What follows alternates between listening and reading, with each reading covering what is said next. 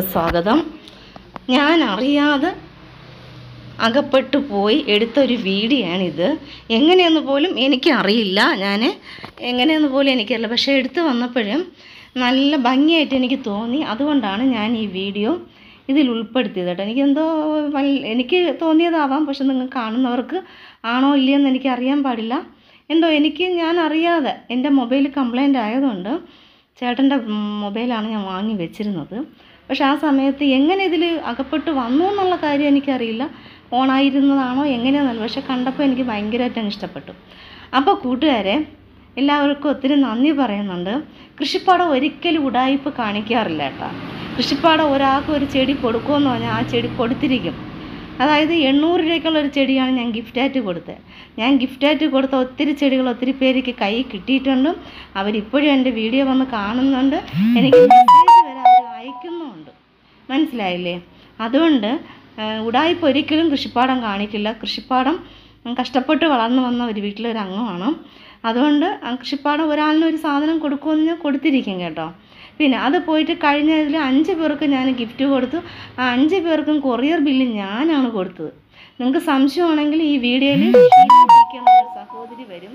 ആ സഹോദരി അതിൽ മെസ്സേജ് ഇടാം അവർ പൈസ തരാമെന്ന് പറഞ്ഞു ഞാൻ വേണ്ടാന്ന് പറഞ്ഞു.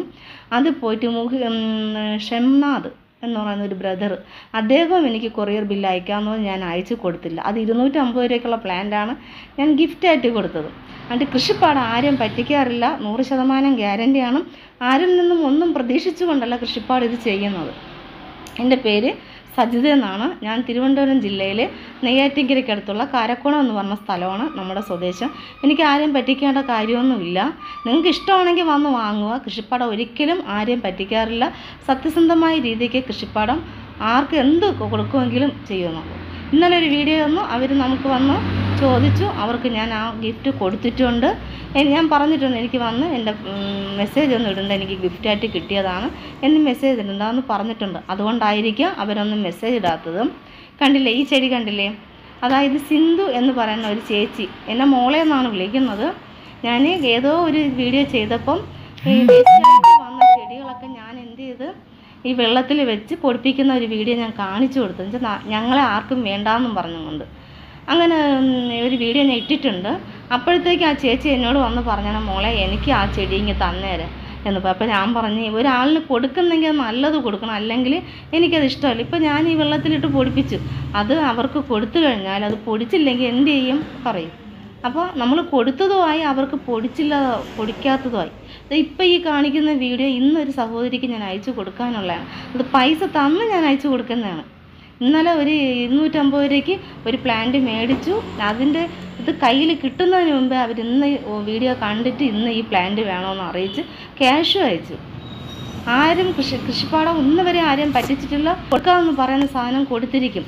എന്നിട്ട് ഈ ഗിഫ്റ്റ് എനിക്ക് കോഴിക്കോട്ട് അയച്ചു കൊടുക്കാൻ പറ്റാത്തതുകൊണ്ട് ഞാൻ അവരോട് പറഞ്ഞത് ഇതിന്റെ ക്യാഷ് ഞാൻ തരാമെന്നാണ് പറഞ്ഞത്. അപ്പോൾ പറഞ്ഞ് അയച്ചു കൊടുക്കാമെന്ന് പറഞ്ഞപ്പോൾ ആ പറഞ്ഞത് എനിക്ക് ക്യാഷ് വേണ്ട എനിക്ക് ഗിഫ്റ്റ് തന്നെ മതിയെന്ന് പറഞ്ഞ് ഗിഫ്റ്റ് തന്നെയാണ് ഞാൻ അയച്ചു കൊടുത്തത്.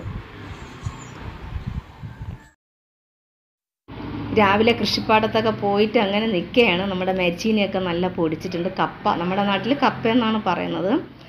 എല്ലാം പൊടിച്ചിട്ടൊക്കെ ഉണ്ട്. അപ്പോൾ നമ്മുടെ വീഡിയോ നിങ്ങൾക്ക് ഇഷ്ടപ്പെടുകയാണെങ്കിൽ ഒരു ലൈക്ക് തരാൻ മറക്കരുത് കേട്ടോ. അപ്പോൾ ഇവിടെ കുറച്ച് കത്തിരിക്ക വഴുതളങ്ങ നിൽക്കുകയാണ്.